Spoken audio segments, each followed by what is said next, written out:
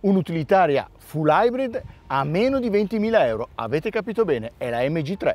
Con i suoi 411 cm di lunghezza la MG3 è un'utilitaria un po' grande nelle dimensioni, ma comunque sempre compatta ed è già disponibile perché è in vendita da maggio 2024 con prezzi dicevamo competitivi perché partono da 19.990 euro per la versione meno costosa che comunque ha già tutto di serie l'indispensabile e anche ben 7 anni di garanzia. Ma guardiamola un attimo da fuori quest'auto che ha un aspetto che ricorda un po' la più grande MG4, quindi delle linee con un frontale un po' a freccia con una parte inferiore piuttosto aggressiva con questa ampia presa d'aria, due spoiler molto vistosi nella zona inferiore, qui in tinta con la carrozzeria più quello più in basso tipo fibra di carbonio e poi i fari a freccia che sono proprio un po' il tratto distintivo dell'MG. La fiancata invece è più morbida perché c'è un susseguirsi di linee curve che si seguono lungo la fiancata che danno un bel movimento. Quindi come aspetto l'auto è sicuramente gradevole e proporzionata. Qui la vediamo con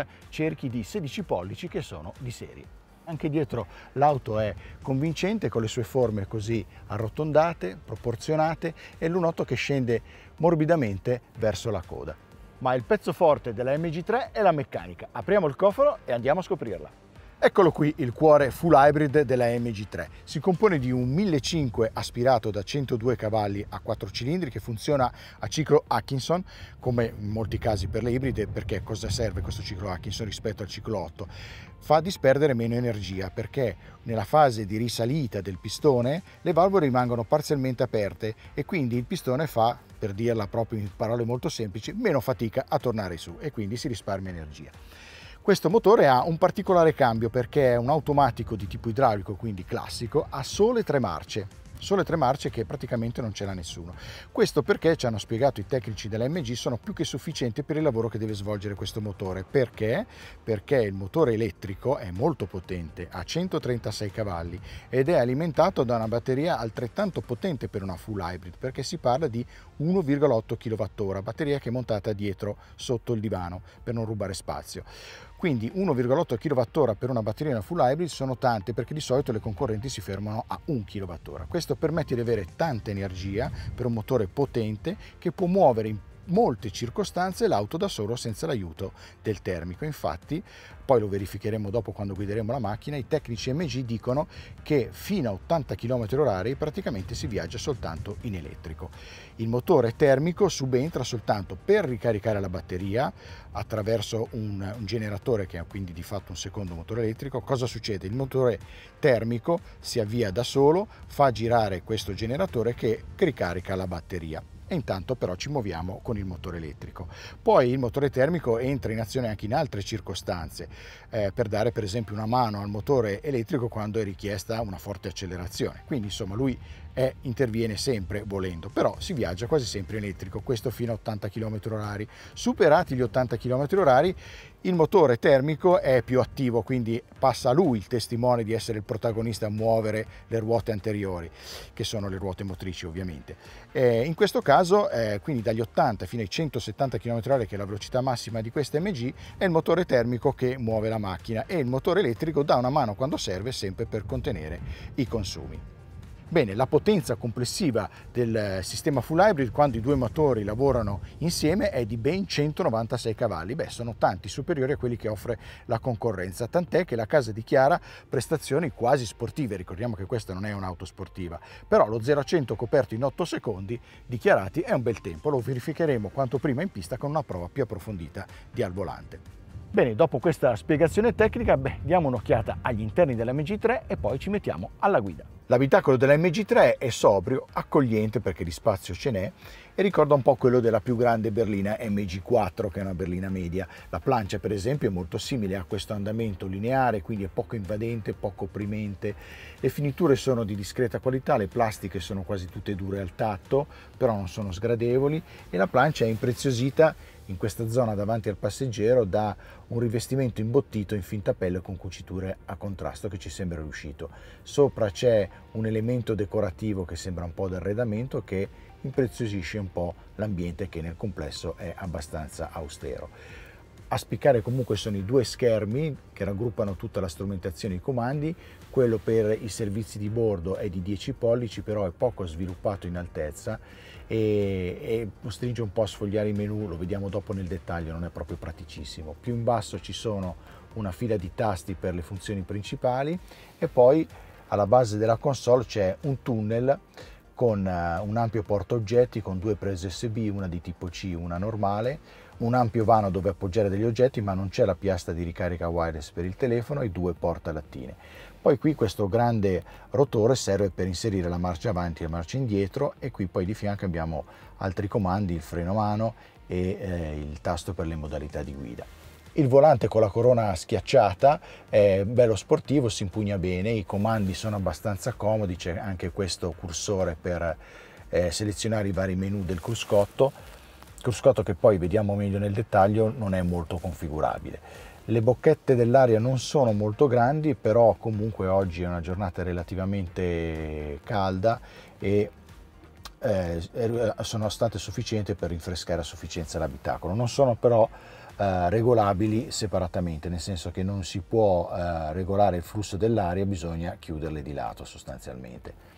Lo schermo dell'impianto multimediale è organizzato in widget, quindi icone mobili che permettono di accedere alle varie funzioni, per esempio qui per arrivare al climatizzatore. Altrimenti si può anche scegliere una schermata dove ci sono piccole iconcine con sempre tutte le funzioni principali. La scomodità però qual è? Che ti costringe sempre a entrare nel menu. Per esempio se io sono sul navigatore come in questo momento ma voglio regolare il climatizzatore devo per forza entrare nel menu quindi lo posso fare dallo schermo oppure schiacciando il tasto qui in basso in centro alla console. Quindi devo fare più passaggi. Sono entrato adesso nello schermo del menu quindi posso regolare il climatizzatore come desidero la temperatura la direzione di flussi dell'aria la velocità della ventola. Poi però se devo ritornare nel navigatore dove ero prima devo rischiacciare il navigatore. Quindi sono più passaggi che fanno distrarre dalla guida. Se ci fossero state che so due manopole in questa zona della console avrei fatto tutto senza neanche togliere lo sguardo dalla strada. Il eh, multimediale è abbastanza semplice, intuitivo ed è dotato anche di Android Auto ed Apple CarPlay. Lo schermo del cruscotto ha una grafica semplice, però è abbastanza chiara, anche se qualche numero, per esempio questi qui in basso, sono un po' piccolini. È configurabile soltanto in questa parte destra, adesso per esempio eh, mostra il sistema del funzionamento ibrido. Siamo fermi col motore acceso e fa, mostra che il motore termico sta alimentando la batteria, infatti sta girando al minimo. Però con questo cursore qui sulla razza destra del volante che è abbastanza semplice anche bello grosso posso sfogliare il menu e visualizzare altre informazioni come per esempio quelle relative ai dati del viaggio oppure spostandomi col cursore sempre col cursore sulla destra posso vedere altre informazioni che sono per esempio la pressione dei pneumatici piuttosto che altre info che riguardano l'automobile. Quindi tutto molto semplice, eh, un po' basico se vogliamo come grafica e come opzioni, però insomma quello che serve c'è in modo abbastanza chiaro. Qua dietro sul divano c'è una buona disponibilità di spazio per essere a bordo di un'utilitaria, quindi per esempio col sedile di guida regolato sulla mia altezza che è 1,70 m c'è molta aria tra le mie ginocchia e lo schienale, quindi anche chi è alto 1,80 m, 85 sta bene qua dietro. Il divano poi è piatto, quindi anche il terzo posto non è affatto scomodo e il pavimento anche lui è praticamente piatto. Poi ci sono delle attenzioni che stanno diventando una rarità tra le utilitarie, per esempio le maniglie di appiglio nel soffitto e una vera chicca invece sono le bocchette d'aria per il climatizzatore riservati ai posti posteriori e la presa USB tutto inserito nel mobiletto. Più in basso c'è anche un piccolo portaoggetti. A proposito dei portaoggetti, nelle porte ci sono le tasche, non sono tante grandi ma ci sono. I pannelli porta sono tutti in plastica rigida però non hanno un aspetto sgradevole, quindi su un'auto di questo prezzo, di questa categoria ci può anche stare. Al baule della MG3 si accede facilmente dall'ampio portellone e la bocca ha una forma, come vedete, regolare. La scomodità è che la soglia di carico è a 20 cm dal fondo, quindi bisogna un po' sollevare i sacchetti della spesa per buttarli letteralmente dentro. Il vano ha una forma anche lei regolare, quindi si sfrutta bene, è rifinito con apprezzabile cura, dispone della luce di cortesia e anche dei ganci per le borse. Sotto il fondo c'è un ulteriore vano ricavato da questo preformato, la batteria quella normale da 12 volt, oltre al kit gonfia e ripara gomme. La casa parla di una capienza a divano in uso di 296 litri, che non sono male per un'auto full hybrid di queste dimensioni. Ma veniamo alla guida della MG3. Eh, dunque, diciamo che fino a 80 km h si viaggia praticamente solo in elettrico, quindi la risposta del motore è molto pronta, molto fluida, si può scegliere tra tre modalità di guida che sono Eco, Comfort e Sport, non c'è molta differenza tra di loro, diciamo che in Sport la risposta della meccanica è più, più reattiva, più pronta, e, ma comunque anche in Eco la macchina risponde con tutta la prontezza che serve. Quindi fino a 80 km h il motore elettrico la fa da protagonista. Però il motore termico, cioè il 1500 a benzina, non sta fermo, si attiva da solo praticamente in due circostanze. Una quando gira a regime costante per far girare il generatore che ricarica la batteria, quindi ha una funzione di ricarica. Altrimenti nelle accelerazioni più decise eh, dà un boost, cioè una spinta in più al motore elettrico eh, per avere una, una risposta più pronta all'accelerazione diciamo che ehm, la sua voce, il motore termico, quando gira a velocità costante per caricare la batteria praticamente non si sente, mentre invece eh, in accelerazione piena un po' si, la sua voce filtra nell'abitacolo, però non è che dà molto fastidio. Per il resto l'auto è improntata su un compromesso, nel senso vuole dare un po' di agilità e ci riesce in parte, con uno sterzo che è abbastanza preciso, non troppo demoltiplicato e delle sospensioni che sì sono morbide però non eccessivamente quindi non c'è tanto coricamento nelle curve negli ingressi nelle curve. Eh, però diciamo che la macchina se si guida molto cattiva tende un pochino a scivolare sui pneumatici e in accelerazioni quelle decise anche non necessariamente in sport dove la spinta è più decisa, anche semplicemente in comfort, nella modalità di guida normale, le ruote anteriori tendono un po' a pattinare, cioè un, un, leggero ritardo, l'antipattinamento interviene con un leggero ritardo e quindi i pneumatici leggermente slittano. Niente di grave, niente di particolare, lo devi anche andare un po' a cercare con una guida cattiva. Comunque l'auto si guida bene perché dà confidenza, è molto, è, è molto intuitiva, ha limiti di tenuta abbastanza elevati, ma poi li verificheremo poi bene in pista durante una prova strumentale di al volante. Per quanto riguarda invece i freni, eh, il pedale è ben modulabile, eh, la frenata rigenerativa non ha un grande stacco rispetto a quella meccanica, cioè quando ci sono le, le pinze che mordono effettivamente i dischi. Eh, si può anche regolare la frenata rigenerativa su tre livelli, però è scomodo perché lo devi fare dallo schermo eh, dell'impianto multimediale, quindi entrare nel menu, insomma non lo puoi fare mentre guidi perché ti distrai. Comunque diciamo che i livelli di frenata regenerativa, dicevamo, sono tre, quindi un po' di più del solito perché molti rivali ne offrono al massimo due. Ehm, c'è una buona differenza tra i, due, tra i diversi livelli, eh, diciamo che con quello medio che stiamo utilizzando adesso nel test la macchina ha un buon scorrimento quando sei in rilascio però avverti la frenata rigenerativa ma non eccessivamente da strattonarti e, dare fastidio magari ai passeggeri. Eh, manca la funzione one pedal, però vabbè stiamo parlando di una full hybrid, non di una macchina elettrica, quindi non è che ce lo aspettavamo effettivamente. Eh, ultima nota sulla posizione di guida che tutto sommato è abbastanza alta per essere quella di una berlina, eh, il sedile ha una buona imbottitura, ha una profilatura adeguata, non è eccessivamente di quelli che strizza, di quelli che stringe il busto, anche per chi è un po' robusto come me.